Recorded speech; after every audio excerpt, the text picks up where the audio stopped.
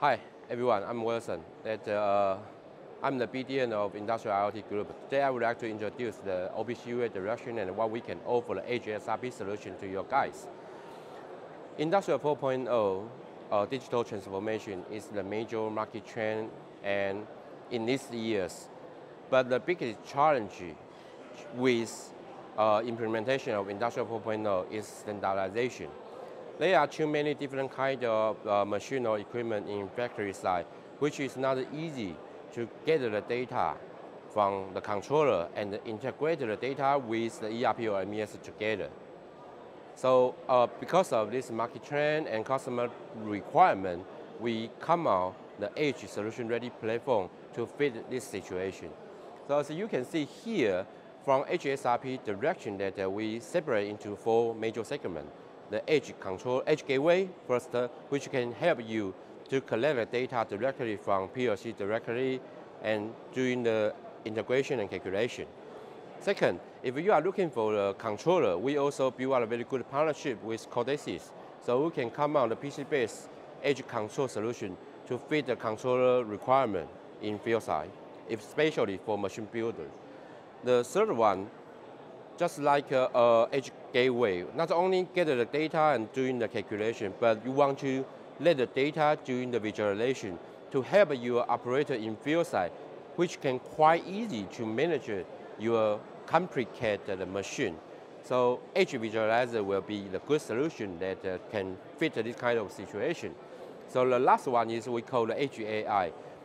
Not only to doing the calculation or acquire the data from field side, but we also can connect to the cloud directly and get the Azure or AWS cloud microservice to doing the deployment to our edge to do the field side computing process. So we can imagine that uh, some the AI or machine learning microservice can deploy from cloud to the edge to do pre-process in edge so uh, whatever, what kind of Edge SRP we can offer to fit the customer field side, the most important thing is we can support the OPC UA as the common data collection or communication protocol as the core to help your IT guy and easy to manage the field side data. So uh, today here you can see the demonstration. What we show is we call the Edge AI, which this solution is passed the Microsoft Azure IoT Edge recognized and certification.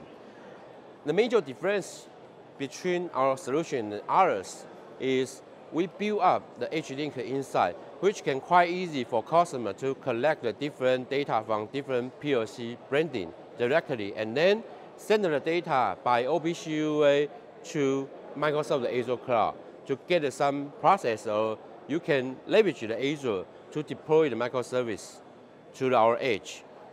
Besides, because our hardware platform also consider about some data translation security.